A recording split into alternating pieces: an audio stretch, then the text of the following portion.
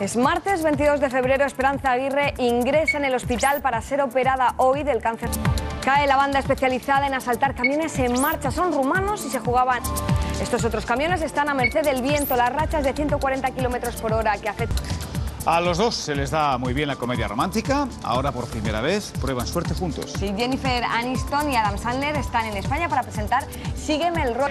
Y en los deportes, al Real Madrid le llega la hora de enfrentarse a sus fantasmas en la Champions y si puede derrotarlos. Mourinho busca superar la maldición de los octavos ante una de sus bestias negras. Como ha castigado sobre todo a la segunda ciudad de Nueva Zelanda. Van a ver una imagen que dé idea de la magnitud del desastre. Aquí van a ver la catedral de Christchurch antes del temblor, esta que ven.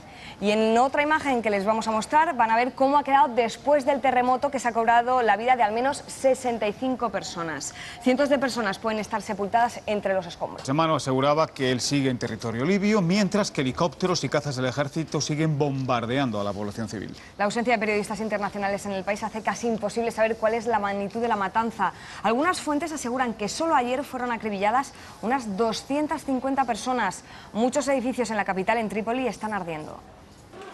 ¿Debe y puede hacer algo la comunidad internacional para frenar esta matanza? Esa es la pregunta que será debatida en unas horas en la ONU. Sí, el Consejo de Seguridad de Naciones Unidas se va a reunir esta tarde para hablar de la crisis libia y también de otras rebeliones en el mundo árabe. El Partido Socialista acusa de cohecho al presidente de la Generalitat Valenciana, Francisco Camps, por recibir supuestamente regalos de la trama Gürtel. Temporal de viento en Cataluña con rachas huracanadas de hasta 140 kilómetros por hora. En Tarragona, decenas de camiones han volcado y circular por las carreteras resulta peligroso. Además, debido al viento, se complica la extinción de varios incendios forestales y se han suspendido las clases y las. El viento y la lluvia han podido influir en el grave accidente que ha costado la vida a una mujer de 66 años en Barasoain a 30 kilómetros de Pamplona. El coche que conducía es juicio en Mallorca a unos padres acusados de maltratar brutalmente a su hijo de 7 años. Como consecuencia de una de las agresiones, el niño quedó inválido. España es el tercer país europeo con mayor índice de sobrepeso, un problema que comienza cada vez antes en los niños. A los expertos les preocupa especialmente el aumento de casos en menores de entre 3 y 5 años.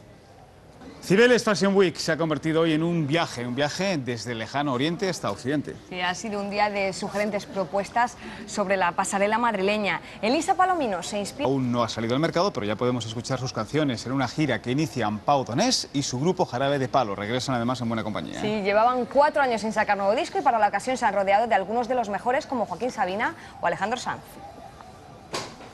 Y de estreno está también esta casa. Hoy se ha presentado la nueva apuesta de Antena 3 para las tardes, El secreto de Puente Viejo. Sí, una nueva serie ambientada a principios del siglo XX. El primer capítulo se emitirá mañana por la noche y a partir del jueves en la sobremesa después de Bandolera. Y así transcurre este día. Les dejamos ya con Eno Arbizu y toda la actualidad deportiva. Más noticias esta noche, ya saben, a las 9 con Matías Prats. Pasen una buena tarde hasta mañana. Hasta mañana.